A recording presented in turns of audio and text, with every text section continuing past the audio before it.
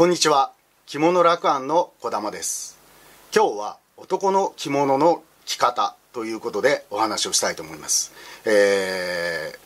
長襦袢の姿ですいません。こんなおっさんが長襦袢の姿を見せてすいません、えー、まず、えー、長襦袢を羽織っていただいて半襟と半襟を、えー、合わせていただき背中の中心とともに前後にこうずらします。これで、えー、長襦袢の雪。この左右の雪の長さが合うということになります。そして 打ち合わせをしていただいて、えー、私の場合は、えー、この襟元のダブ付きというのをまず最初に下ろしておいて。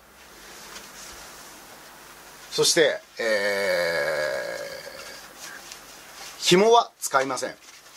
えー、重要なのはこの、えー、博多の2枚合わせの伊達締めこちらで腰骨と腰骨の間。こちらの位置にしっかりとそして後ろで半ひねりしていただくと。博多の場合はこの剣城という柄と。裏側は一本どっこという、えー、一本の島になってますので右側と左側で、えー、半分後ろでひねっていただくと、えー、左右違う、えー、柄が出てきます。そしてこちらを2度からげてそして横に引っ張りそして挟み込むだけです。紐を使わない理由としては紐で結ぶとゴロゴロしたものができてしまいますので、えー、この博多の、えー、伊達締めをしっかりと結びます。そして着物。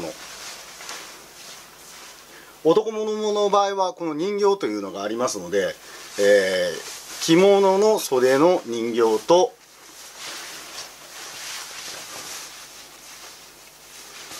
長襦袢の袖の人形をきちっとこう入れていただいてそうすると、えー、左右が動くことがありません。そして同じように半襟の、えー、かけてあるえー、位置と背中を前後にずらしていただくと左右の雪が合ってきます。そして打ち合わせをしていただきます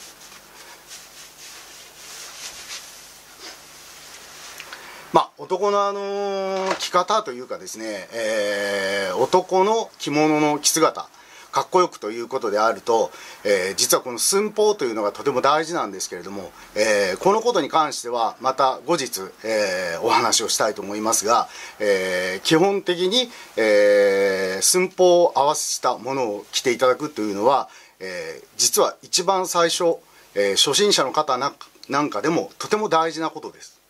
え着崩れをしない、えー、一日着ていても着直すことがない。それは寸法が合ってるかどうか。というのはとても実は大事なことなのです。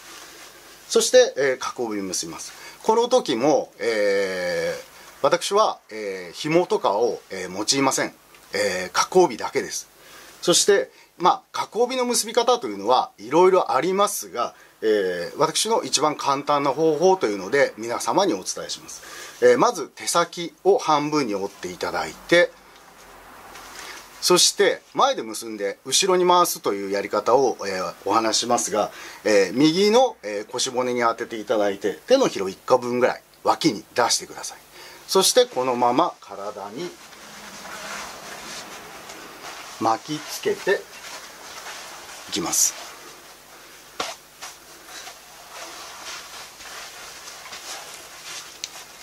そしてここが、えー、肝心なんですが、えー帯というのは下が締まっていて上がゆっくりこう開いたような状態というのが、えー、一番、えー、美しいですし着崩れをしません。ですので帯の下から手を回していただいてお盆の手ですね。お盆の手で下側を持っていただいてそして右側の手先の方は、えー、押さえておくだけです。引っ張りません。そして、えー、左の手を脇を身ごろにつけるようにして、えー、ぐっと脇に引っ張ってください。この時かなりギュッと引っ張っていただいて。そして同じように体から、えー、手のひら1個分ぐらい出したところで折り返してでこの残った部分を、えー、中側に。これは、えー、か帯というのは、えー、締める位置。それからまあ、えー、太った方、えー、痩せた方。そういった方、えー、どなたでも使えるように、えー、締め方でこの長さというのを調節するようにしております。そして手先を真ん中まで出していただいてもう一つ大事な点。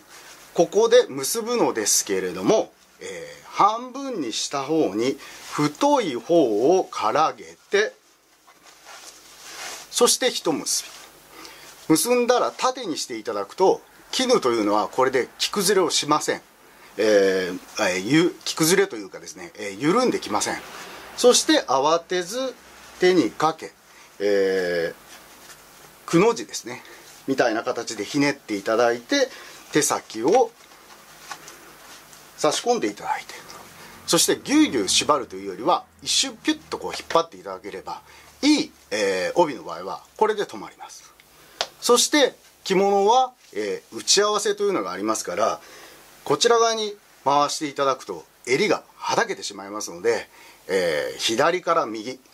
着物は、えー、全て、えー、男性も女性も、えー、右側右手で、えー、裾を直すみたいに覚えていただくと、えー、打ち合わせが、えー、間違えることがありません。これを逆にしてしまいますとこれは、えー、亡くなった方を、え、送るための衣装になってしまいますんで気をつけてください。そして 前と後ろを持っていただいてこの時は一気にグッと回していただきそして挟んだ帯の房とかですね。こちらをきれいに処理していただきそして肝心なのが帯というのは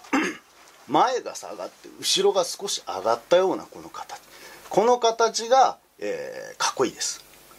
えー、ちなみに、えー、楽庵では非常に下に締めているように思われますがこれが実は一番、えー、着物を着崩れない。位置ということで、えー、いろいろ、えー、お客様とか、えー、僕が毎日着る中でここの位置がいいなっていうところを発見しました。なので、えー、実はこれは、えー、先ほども言ったようにちょっと次回に 着物の寸法とそれから、えー、そういったところでも、えー、お話しするんですが、えー、着物の教科書や、えー、出来上がりの着物に、えー、書いてあるものとはちょっと違ってきますのでここの部分は、えー、また次回ゆっくりお話します。で、え、なぜこの位置がいいかということを最後に一つお話したいんですが帯よく夏の浴衣のシーズンとか、え、いわゆるスーパーとかそういったところの宣伝を見るとまず帯の位置が非常に高いです。ここの位置ってどうですか？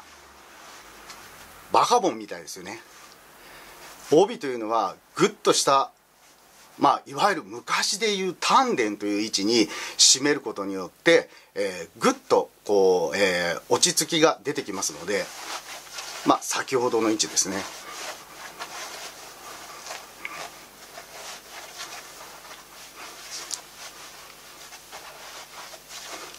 ここの位置にきちっと締めていただく。ですので私の場合は腰骨がここにあります。ですから腰の、えー、腰骨の上に完全に乗ってる状態。よく教科書とか、えー、着物の本を見ると腰骨のとこで締めてくださいというふうに書いてありますがそれは逆に言えば立ったり座ったりしてしまうと帯がそのままスポッと上がってしまいますからそうすると、えー、バカボンの、えー、帯のようになってしまいます。まあこんな形ですね。これがまあ一番美しいであろうそれから、えー、毎日できれば着物を着たい着物を着て着崩れを起こしたくないそういった、えー、方に向けてお話していることです以上、まあ、今日は、えー、簡単に男の着物の、えー、着方ということでお話しさせていただきました。ありがとうございました。